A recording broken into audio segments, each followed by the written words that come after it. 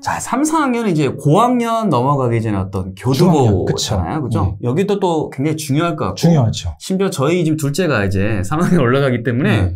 굉장히 좀 사심 어린 이제 인터뷰가 될 것 같은데 3, 4학년에는 이제 또 새학기 뭘 이제 중점적으로 우리가 바라봐야 될까요? 3학년과 앞에서 제가 말씀드렸는데 학년 군마다 수업 실수도 거의 비슷하고 배우는 음. 교과도 똑같고요. 네. 근데 초3이 되면 많은 것들이 바뀝니다. 음. 일단 교과목이 9개로 늘어나요. 이제 분과적으로 아, 1, 2학년은 통합교과, 봄, 여름, 가을, 겨울이었는데 3학년 때부터는 이제 과목이 세분화되는 거죠. 그래서 그쵸. 배우는 과목이 9개로 늘어납니다. 어, 많다. 예, 국어, 수학, 사회, 과학, 음악, 미술, 체육, 도덕, 영어. 아, 예. 그래서 과목이 늘어나고. 그 다음에 아이들은 1, 2학년 때는 또 좀 일찍 끝나거든요. 물론 점심 먹고서, 물론 학교마다 조금씩 다른데, 점심 먹고 바로 집에 가는데, 3, 4학년은 점심 먹고 5교시 수업하고, 아마 일주일에 하루 정도 6교시까지 수업하고요. 아, 수업 시수가 늘어나요. 네. 배우는 내용도 어렵습니다. 아, 그러니까 1, 2학년 때는 교과 측면에서 막 아이들이 이해가 안 되거나 어려운 내용은 거의 없습니다. 생활적인 거. 예, 예, 그렇죠. 생활, 아이가 학교 생활에 잘 적응하고 그게 중요한데, 음. 3, 4학년 때부터 이제 본격적으로 어려운 내용들이 나옵니다. 그래서 음. 아이들이 어렵죠. 1, 2학년 때는 그래도 막 재밌게 막 활동적으로 수업했는데 3학년 맞아요. 때부터 이제 앉아서 수업이 어려워지니까 또 영어를 배우고요. 네. 그래서 아이들은 스트레스를 받는데 부모님들 입장에서는 우리 아이가 1, 2학년 때는 신경을 많이 썼는데 우리 아이가 별다른 문제 없이 학교를 잘 다녀요. 그럼 이제 그렇죠. 3학년 때부터는 부모님들이 방심하고 다시 일을 하시거나 음. 그렇게 합니다. 근데 아이는 오히려 3학년 돼서 더 힘들고 어려운데. 아, 그래서 첫 번째 책을 맞아요. 예. 의미가 좀 예, 크네요. 그래서 제가 아. 초3보다 중요한 건 없습니다. 아이는 초3이 돼서 너무 힘든데 부모님은 방심하고 아이를 방치한다는 표현은 좀 그렇지만 아이를 그냥 믿고 노니까. 음. 그러니까 아이가 학교에 와서 막 힘들어하는 거죠. 음. 초3인데 아이들이 수업 시간에 막 집중을 안 하고 되게 힘들어해요. 그래서 제가 어. 와 이거를 제가 그 초3 책에도 썼는데 학교 3학년 교실의 모습을 영상을 찍어서 부모님들한테 보여드리고 싶다 제가 그런 얘기를 썼었거든요. 음. 예. 그렇죠.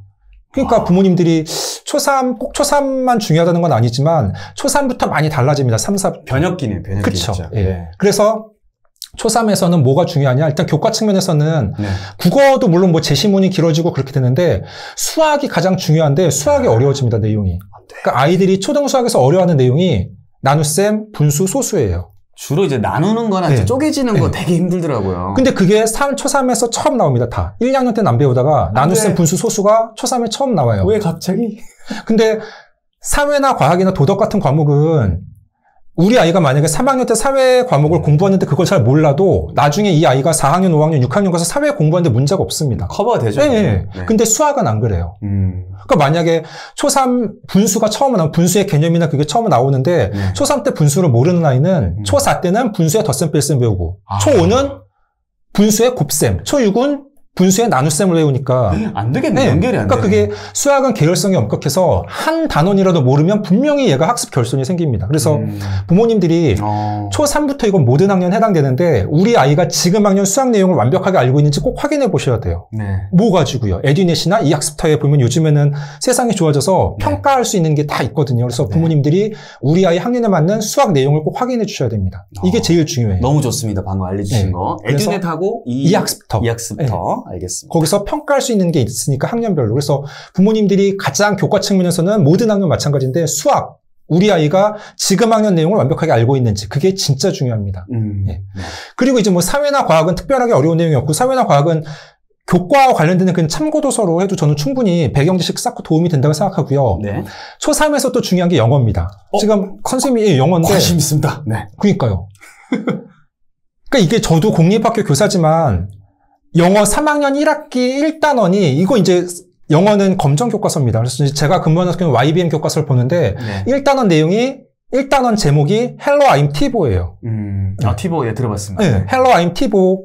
근데 국어는 1학년 1학기 1단원이 바른 자세로 뭐 앉기 그런 거 배우고 연필 잡는 법 배우고 국어 2단원 1학년 1학기 1학기 2단원이 음. 기억, 니은, 디귿. 3단원이 아야어요. 심플하네요. 네. 그러니까 제가 무슨 얘기가 하고 싶으냐면은 국어는 1학년 때 처음 배우는데 국어는 이제 기억, 니은, 아야어요 순서대로 나온다고요. 네. 그럼 영어는 3학년 때 처음 배우니까 ABCD 알파벳부터 나오는 게 아니고 바로 자기소개가 나온다고요. 그러니까 그게 굉장히 그 앞에 게 훅 넘어가 그쵸, 그쵸, 버리더라고요. 네. 그러니까 영어는 아이들 순 차이가 진짜 큽니다. 어떤 아이들은 원어민 선생님하고 프리토킹을 할 수 있는데 네. 뭐 영어 유치원 나오고 어학원 다니고 화상영하고 이런 애들은 영어 실력이 엄청 좋은데 그렇지 않은 아이들은 알파벳을 모르는 아이도 있어요. A, B, C 이제 해야 예, 돼. 예. 격차가 진짜 크네요. 너무 커요. 한 교실 안에서. 그러니까 영어는 제가 부모님들한테 막 영어 사교육 하세요가 아니고 영어는 3, 4학년은 일주일에 2시간 배우거든요. 전국의 모든 학교 다. 40분 곱하기 2인 예, 거잖아요, 예. 그죠? 아, 5, 6학년은 일주일에 3시간 배우고요. 이제. 예. 음. 근데 3, 4학년이 일주일에 영어 2시간 가지고서는 부족합니다. 사실 솔직히. 우리가 1만 시간, 1만 시간 하는데 사실 네. 택도 없는 거잖아요. 많이? 부족해요. 그래서 네. 영어는 학교 수업은 물론 학교 수업대로 나가고 네. 아이 수준에 맞춰서 영어는 본인이 공부를 좀 해야 됩니다. 뭐 영어 동화책을 읽든 그림책을 읽든. 음. 저는 그렇게 생각하고 그래서 완전 동의합니다. 예, 예. 네. 영어에서는 차이가 엄청나게 벌어집니다. 그래서 네. 영어는 부모님들이 조금 우리 아이 수준을 확인해서 영어는 조금 그 책 읽는 걸로 좀 신경을 써 주셔야 돼요. 네네네. 좋습니다. 그래서 3, 4학년은 이제 그런 식으로 교과를 보시면 되겠고 네. 생활 측면에서는 보통은 3학년부터 용돈을 좀 주시는 경우가 많아요. 어, 저 순간 저한테 용돈 주셨어요. 되게 아이고. 그래서 저는 대찬성입니다. 그래서 1, 2학년은 조금 어리고 3, 4학년부터는 그 금액은 부모님들이 아이와 상의해서 음. 아이들한테 용돈을 주면서 우리 아이가 일주일에 또는 뭐 한 달 단위로 그래서 네. 용돈 가지고서 아이가 용돈 기입장 비슷하게 쓰면서 좀 계획적인 소비 생활할 수 있게 굉장히 좋은 것 같아요. 네. 네. 그래서 용돈 주면서 아이가 스스로 좀 이렇게 꾸려 나갈 수 있도록 하면 좋겠고 네.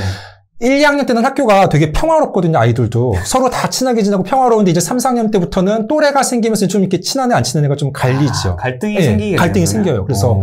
부모님들이 우리 아이의 친구 관계에 대해서 좀 관심을 갖고 음. 우리 아이가 누구하고 친한지, 음. 누구하고는 좀 트러블이 많은지를 좀 이렇게 아이하고 대화를 많이 해서 좀 음. 파악하고 계시면 좋습니다. 그래야지 우리 아이가 뭐 좀 힘들어하거나 그러면은 담임 선생님하고 상담하거나 그런 식으로 해서 아이한테 음. 좀 도움을 주시는 게 좋겠죠. 아, 교우 관계 되게 좋습니다. 예, 예. 꿀팁입니다. 예.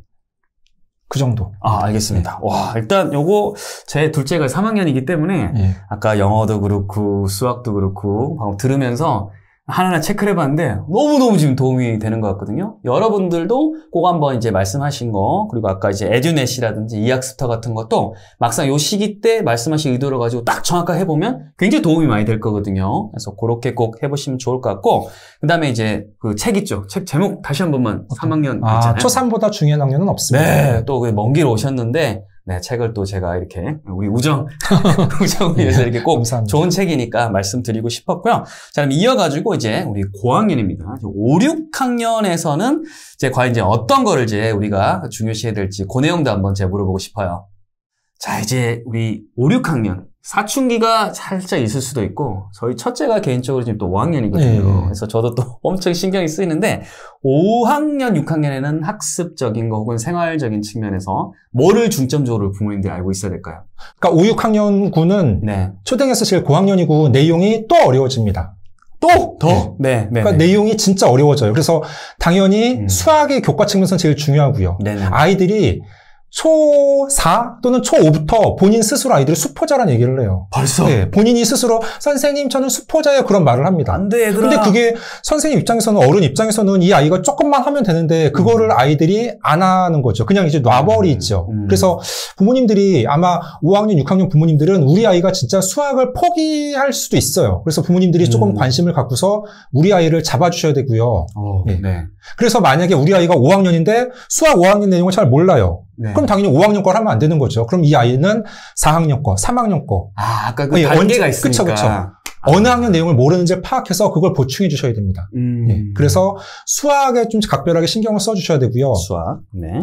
사회나 과학도 어려워지는데 사회가 5학년 2학기 때 초등학교 5학년 2학기 사회 시간에는 한국사만 배웁니다. 어, 네. 네. 한국사. 그래서 5학년들은 미리 한국사 책을 좀 이렇게 관련 도서로다가 읽어보면 좋아요. 왜냐면 한 학기 동안 고조선부터 현대까지 한국사를 쭉 훑기 때문에 네네. 전혀 한국사를 모르는 아이들은 막 그 용어들이 너무 생소하잖아요. 막 그렇죠. 신석기, 막 고조선 이런 음. 내용 나오면 어려워하기 때문에 미리 5학년 1학기 때 아이들에게 뭐 이렇게 한국사 책 워낙에 시중에 좋은 책들이 많으니까 너무 좋네. 네. 저희 집 애가 이제 올라가니까 네. 1학기 때딱 하면 되겠네요. 그쵸. 와. 늦어도 네. 여름방학 때는. 알겠습니다, 그러니까 그거는 알겠습니다. 선행하라는 얘기가 아니고 관련 교과, 관련 책 참고서를 그냥 읽는 거죠. 한국사 책을. 그렇죠. 그리고 나서 아이가 사회 수업을 들으면 훨씬 더 쉽게 적응할 수 있으니까. 맞아요. 네, 예. 그래서 네. 사회에는 5학년들은 꼭 그걸 해주셔야 되고요. 네. 과목은 이제 5, 6학년은 10개 과목을 배웁니다. 음. 3, 4학년이 아까 몇 과목이었죠? 3, 3, 9개인가? 아홉 과목. 빙고. 거기서 이제 한 과목이 추가되는데 그게 실과입니다. 오, 네, 실과. 우리 어릴 때또 네, 그 실- 실과인가요? 그 실과 맞아요. 근데 네. 실과는 아이들이 좋아해요. 음. 왜냐면 대부분 다 활동 중심이고 무슨 음식 만들기, 바느질하기 막 그런 거기 때문에. 예, 네. 재미있어 합니다, 아이들이. 그래서 교과 측면에서는 뭐 특별하게 수학 제일 신경 써주시면 되고 음. 영어는 아이 수준에 맞춰서 그냥 쭉쭉쭉쭉. 음. 예, 영어는 그렇게 해야 되고 영어도 아이들이 조금 학교에서 배우는 중요한 단어나 그런 네. 좀 핵심적인 표현들은 좀 외우도록 확인해 주시면 좋고요, 부모님들이. 네. 네. 그래서 교과 측면에서는 그렇게 해주시면 좋겠고 네. 생활 측면에서는 아, 방금 아까 선생님도 말씀하셨는데 네. 요즘 애들은 빠르면 4학년 때도 사춘기가 오거든요. 특히 음. 여자애들이 더 좀 성장이 빠른데 그렇죠. 예, 네. 4학년 2학기 그때쯤에 사춘기가 오기 때문에 이성에 대한 관심이 상당히 많아요, 아이들이. 아. 고학년들은. 오, 그래서 네. 어떤 고학년 선생님들은 애들이 연애하러 학교 오는 거 아니냐고 막 그런 연애를요?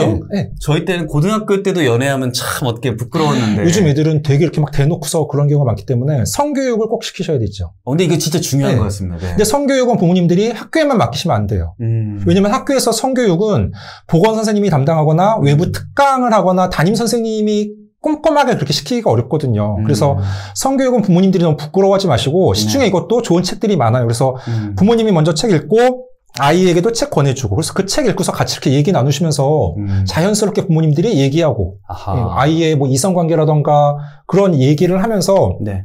주로 얘기를 많이 들어주시면 좋죠. 그래서 음. 성교육은 부모님들이 가정에서도 하셔야 됩니다. 학교에서도 물론 하게 하지만 같이 이렇게 네, 해야 되는 그쵸. 거죠. 그래서 성교육이 중요하고요. 네. 그리고 이제 5학년, 6학년부터 이제 더 심해지죠. 친구 관계가 이제 완전 단짝이 생겨서 서로 아. 막좀 배타적으로 하고 예. 뭐 여자애들이 더. 어울리는 애들이 딱 맞아요. 거의 예, 이제 예. 정해지는 네. 거죠. 네. 그래서 친하던 애들이 뭐 사이가 틀어지면 안, 완전 이제 뭐 배타적으로 하고 네네. 무슨 뭐 나의 영화나 베프 누구 누구 뭐 막 우리 뭐 며칠째 같은 동성인데도 아이들이 특히 여자애들이 그런 게 되게 심해 요 무리가 생기고 챙기고 막 예, 그러더라고요. 그래서 어떤 아이들은 그 중요한 무리에서 나오면은 거기서 힘들어하고. 학교, 예, 학교 가기 네. 싫어하고 아이고 그럴만하네요. 네. 그거를 담임 선생님이 다 파악하고서 또 개입하는 게 되게 조심스럽거든요. 음. 그래서 그런 부분도 부모님들이 아이와 좀 대화를 많이 해서 네. 좀 커다란 건 파악하고 계셔야 되죠. 우리 아이가 누구하고 음. 주로 친한지 네. 어떻게 지내고 있는지 그래서 제일 중요한 거는 아, 부모님하고 아이가 대화를 좀 많이 하셔야 돼요. 아까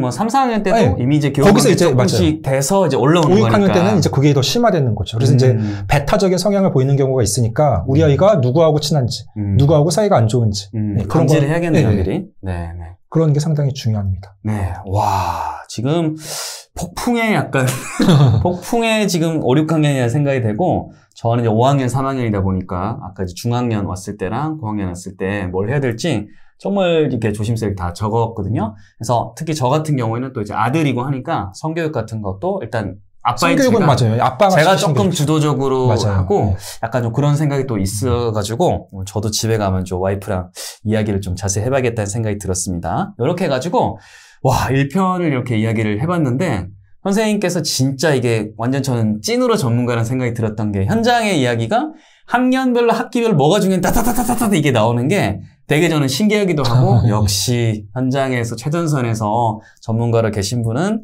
다르다는 점 생각이 들었습니다. 자 그러면 지금까지는 그냥 전반적으로 학년군에 따라서 중요한 점, 알아야 될 점이고, 이제 이제 순탄한 이제 학기초를 맞이하기 위해서 이제 학부모님들이 또 어떻게 보면 약간 하셔야 될 그쵸. 것들, 학부모님들 행동 약간 강령이라고 해야 될까요? 약간 학부모님들 하셔야 될 것에 대해서도 저희 2편에서 예. 한번 세부적으로 좀 다루시면 학부모님 굉장히 큰 도움이 되실 것 같으니까 어떻습니까, 2편? 네, 좋죠. 알겠습니다. 자, 그러면 여러분들 필기구 준비하시고 2편에서 뵙도록 하고, 그 전에 선생님 유튜브 채널도 한번 소개해 주세요. 예, 유튜브 채널 해피 이 선생입니다. 아, 확실히 해피한 표정으로. 자, 해피 이 선생. 여기도 이제 구독과 좋아요 부탁드리고, 저희 홍공TV 채널도 구독과 좋아요 해 주시면 큰 힘이 될 것 같습니다. 저희는 또 2편에서 뵙도록 하겠습니다. 안녕!